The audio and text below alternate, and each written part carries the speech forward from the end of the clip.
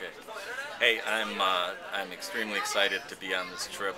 Uh, I have a really good feeling that our kids are going to uh, perform exceptionally. Uh, they have, um, as Mr. Lasky and Mr. Basinger have said, they they have prepared better than they've ever have in the past, and I think we're going to have a record number of students qualify for nationals.